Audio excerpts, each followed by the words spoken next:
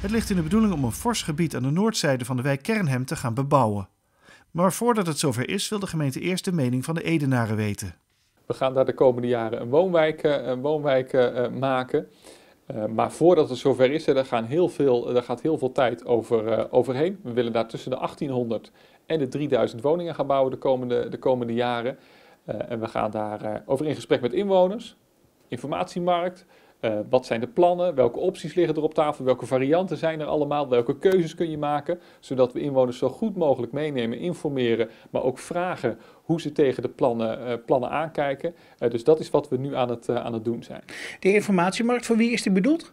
Uh, voor inwoners, voor uh, mensen die uh, een belang hebben, dus die in de buurt wonen of die met een belangenvereniging of stichting in, de buurt, in de buurt zitten. Of mensen die gewoon geïnteresseerd zijn van hé, hey, wat gaat er in dat stukje van, van Ede gebeuren, die informatie willen.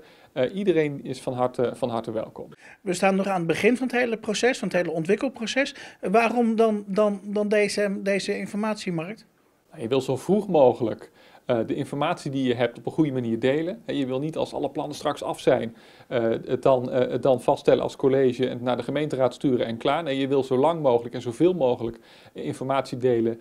belanghebbenden, mensen die er vlakbij wonen, betrekken bij de mogelijkheden die er allemaal zijn. Welke keuzes kunnen we maken om zo straks met elkaar een zo goed mogelijk plan, plan vast te kunnen stellen.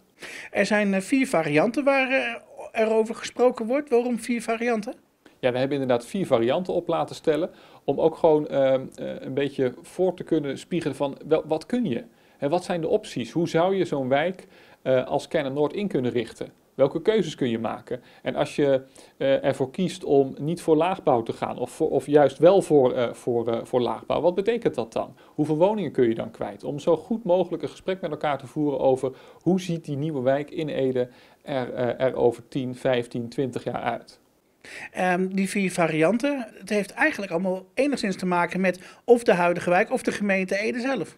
Ja, ja we hebben vier, uh, vier varianten op, uh, opgesteld. Uh, een van de varianten is, dat, is, is, is, die lijkt bijvoorbeeld heel erg op het huidige Kernhem. dat je dat redelijk, redelijk doortrekt in Kernhem Noord. We hebben ook een variant, dat noemen we dan buitenplaats Kernhem. Dat je een aantal grote gebouwen krijgt in het landschap, maar daaromheen een hele grote mooie groene, groene ruimte. We hebben ook een variant die wat meer stedelijk aan, aandoet. rondom een, een park dwars door heel het, heel het plangebied heen, van oost naar west. Dus zo hebben we verschillende mogelijkheden die er zijn. En daar gaan we graag over in gesprek met, met inwoners. en later ook met, met de gemeenteraad. Want de gemeenteraad die wordt later dit jaar hierover gehoord. En daarna? Ja, we gaan, uh, we gaan de komende maanden en na de informatiemarkt en alle andere bijeenkomsten die er zijn, uh, leggen we een ambitiedocument neer in de gemeenteraad. En dus dan hebben we als college besluit genomen over welke variant of welke keuzes dat wij als college denken dat goed zijn voor, voor Kennem Noord. Dan gaat de raad daarover in debat. Die neemt een besluit. Dan gaan we dat verder uitwerken, doorrekenen met als doel dat er in 2025 een bestemmingsplan of omgevingsplan kan, kan worden vastgesteld, zodat er nog voor 2030 de eerste huizen kunnen worden gebouwd en kunnen worden verkocht.